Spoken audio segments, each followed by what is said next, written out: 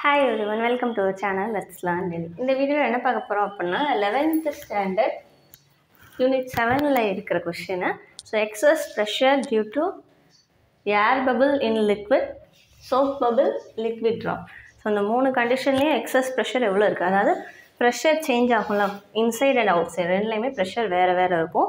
So அந்த pressure தான் எவ்வளோ இருக்குது அப்படின்றத கால்குலேட் பண்ண போகிறோம் ஃபஸ்ட்டு என்னென்னா air bubble in liquid so எதில் இந்த கண்டிஷன் இருக்கும் அப்படின்னு பார்த்தீங்கன்னா நார்மலாக வாட்டருக்குள்ளேருந்து ரைஸ் ஆகி வர ஏர் பபிள்ஸ் ஸோ ஃபிஷ் டேங்க்கில் ஃபில்டர் ஏதாவது போட்டிருந்தீங்கன்னா அதில் ஏர் பபிள் வரும். ஸோ அதுதான். அப்போது சரௌண்டிங்ஸில் லிக்விட் இருக்கும் உள்ளே அந்த ஏர் பபிள் இருக்கும்.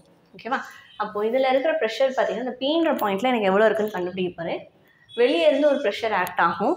அந்த பபிள் பார்த்தாப்புல அது பி ஒன் அதே மாதிரி பபிள்லேருந்து ஒரு ப்ரெஷர் ஆக்ட் ஆகும். அது பி டூ எல்லாத்துலேயுமே இதுதான் P one P two inside pressure வந்து P two outside pressure வந்து பி ஒன் அது போக இந்த சர்ஃபேஸில் ஒரு ஃபோர்ஸ் இருக்கும். அது எதுனா எஃப்டின்னு சொல்லுவோம். அதாவது force due to surface tension எல்லாத்துலேயுமே அந்த சர்ஃபேஸ் டென்ஷன் இருக்கும். அதனால வருது ஓகேவா ஸோ அப்போது சேஞ்ச் இன் ப்ரெஷர் என்ன பண்ணுவோம்?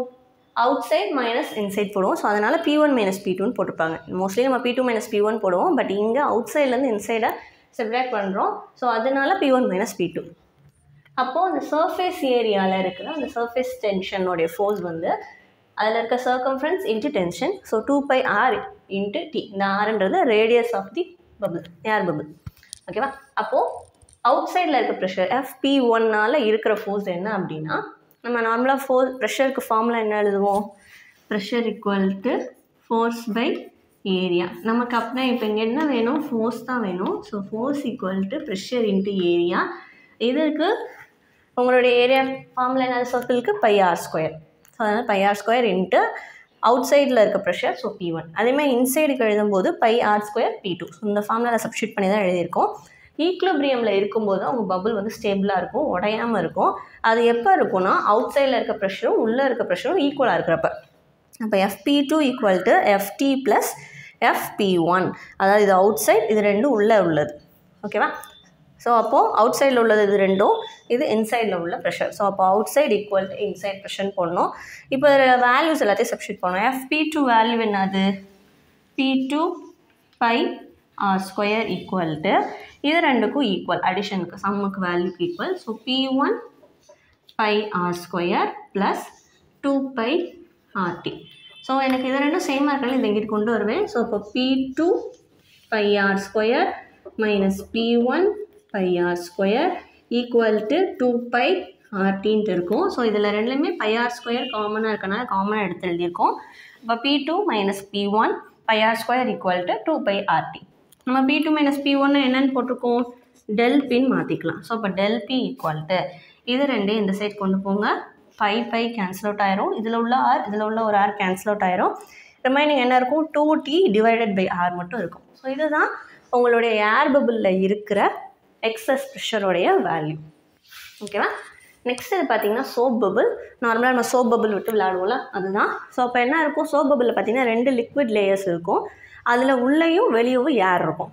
ஓகேவா ஸோ அப்போ நார்மலாக ஏரில் தான் நம்ம சோப் பபுள் விட்டு விளையாடுவோம். ஸோ அப்போ வெளியவும் ஏர் தான் இருக்குது அந்த லிக்விட் லேயர்ஸ்க்கு உள்ளேயும் யார் தான் இருக்குது அதனால் இங்கே உங்களுக்கு வந்து எக்ஸஸ் ப்ரெஷர் டியூ டு அந்த வேல்யூவில் சின்ன சேஞ்ச் மட்டும் இருக்கும். என்னென்னா சர்ஃபேஸ் டென்ஷனால் வர ஃபோர்ஸில் மட்டும் என்ன பண்ணியிருப்பாங்கன்னா two into two by RT அப்படின்னு சேர்த்துருப்பாங்க.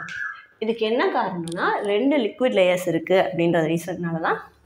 ஸோ அப்போது அவுட் சைட் ப்ரெஷர்னாலே எஃப்பி ஒன் தான். அதே மாதிரி தான் அதனால் வர ஃபோர்ஸ் என்னது? எஃப்பி ஒன் ஸோ அப்போது நமக்கு இங்கே சப்ஸ்டியூட் பண்ணினா என்ன வரும்? P one by R square அதே மாதிரி இன்சைட் ப்ரெஷர்னால வர ஃபோர்ஸ் எஃப்பி டூ அதுக்கு P two by R square so equilibrium கண்டிஷனில் outside and inside pressure equal so அதை சப்ஸ்டியூட் பண்ணிட்டு மூணு வேலையும் போட்டுட்டு ரீஅரேஞ்ச் பண்ணிங்கன்னா இந்த இடத்துல டூ டி பை ஆர் இருந்துச்சு. அதுக்கு பதிலாக இங்கே ஃபோர் டி பை ஆர்னு மட்டும் கிடைக்கும். ஸோ இதே மாதிரியே சால்வ் பண்ணிங்கன்னா கிடச்சிடும் ஓகேவா அடுத்து இருக்கிறது லிக்விட் ட்ராப்ஸ் லிக்விட் ட்ராப்ஸ் நார்மலாக விழுகுதுல ஏரில் ஸோ அந்த ட்ராப்ஸ் தான்.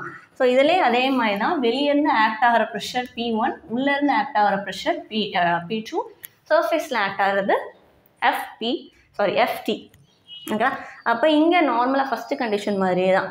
உங்களுக்கு அந்த அவுட் சைடில் இருக்கிற சர்ஃபேஸ் டென்ஷனால் வர ஃபோர்ஸ் டூ பை ஆர்டிக்கு ஈக்குவல் அதே மாதிரி inside outside ப்ரெஷரோட value P one by R square inside ப்ரெஷரோட value P two by R square so இப்போ ஈக்லிபிரியம் கண்டிஷனில் outside and inside pressure ரெண்டு ஈக்குவல் சப்ஸ்டியூட் பண்ணி ரீஅரேஞ்ச் பண்ணிங்கன்னா del P equal to two T by ஆர்னு கிடைக்கும். So இதில் இந்த வேல்யூவும் இந்த வேல்யூஸும் அப்படியே ஒரே மாதிரியே தான் டெரைவ் பண்ணியிருக்கீங்க சின்ன சேஞ்ச் இதில் என்ன அப்படின்னா டூவால் மல்டிப்ளை பண்ணியிருப்போம் அவ்வளோதான் வித்தியாசம் இருக்கும். ஸோ அப்போது air bubble soap bubble and liquid ட்ராப்ஸில் இருக்கிற எக்ஸஸ் ப்ரெஷரோட வேல்யூ நம்ம இதில் கேல்குலேட் பண்ணிட்டோம். ஸோ இது இம்பார்ட்டன்ட் கொஸ்டின் டெரவேஷன் கொஸ்டின் தான். மோஸ்ட்லி பெருசாக இருக்குன்றனாலே நிறைய பேர் அட்டன் பண்ண மாட்டாங்க. கண்டென்ட் இவ்வளோ தான் கண்டென்ட் வச்சு நீங்களாகவே எழுதிக்கோங்க. ஸோ இந்த கொஸ்டின் ரொம்ப ஈஸியாக இருக்கும். ஸோ இந்த வீடியோவில் ஏதாவது டவுட் இருந்தால் கேளுங்க. தேங்க்யூ